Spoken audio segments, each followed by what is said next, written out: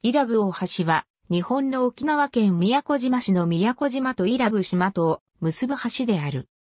2006年3月18日に着工し、2015年1月31日16時に供用が開始された。全長3540メートルで、新北九州空港連絡橋を上回り、通行料金を徴収しない橋としては、日本最長である。総事業費は399億円。宮古島の平良港、トゥリバー地区と伊良部島東南部の長山の浜近辺を結ぶ橋で、沖縄県道252号平良、下地島空港線の一部である。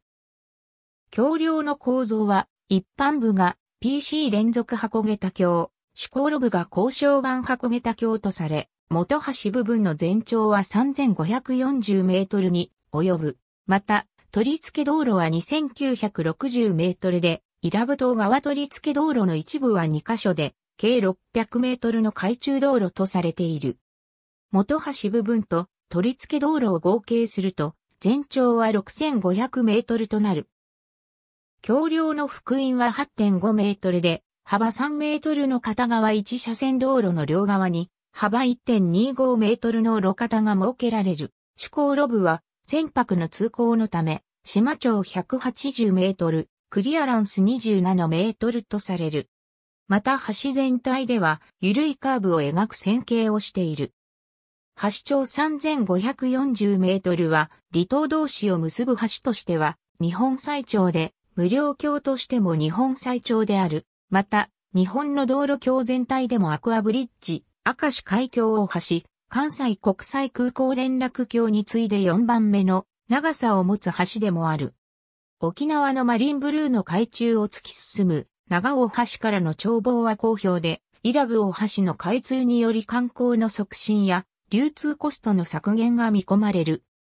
また、宮古島の地下ダムから農業用水や生活用水が大橋に併設された導水管を通って供給されるため、水道のコストも削減されたほか、スピード化によって医療や教育の面でもイラブ島の島民にとって恩恵を与える大きな役目を果たしている。橋の中央部は一般車両中停車禁止となっているが、車を止めて写真や動画を撮影する観光客や住民が少なくない。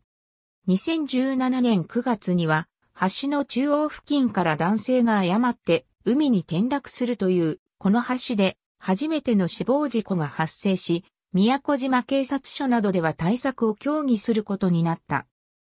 イラブ大橋周辺の空中写真。国土交通省国土画像情報をもとに作成橋の開通前に、イラブ島内で路線バスを運行していた共和バスが橋の開通に伴い路線を宮古島まで延長して、伊良部島皿浜港宮古島平良港間で路線バスを運行している。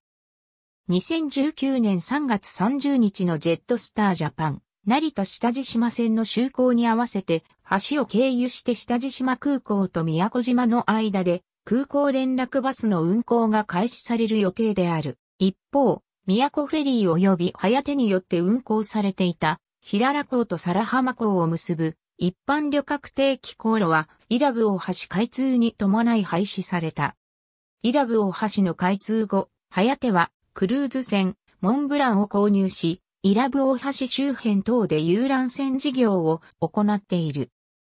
着工前の下地島に設置されていた、架橋を要請する看板2月本橋梁は、2006年3月18日に着工した。当初の計画では2013年3月の竣工を予定していた。当初、主航路部は、高中路アーチ橋を計画していたが、2007年に行われた台風検討委員会の風洞実験で耐久性に問題があることが判明した。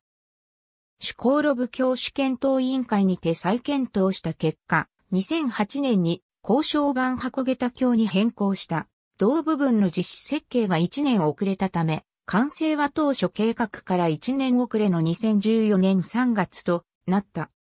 2012年6月、思考路部の中央景観を仮設するための大型機重機船が台風の影響を避けるために兵庫県の母港へ寄港し、気象条件から宮古島に再度呼び戻すのは2013年4月頃になる見込みとなった。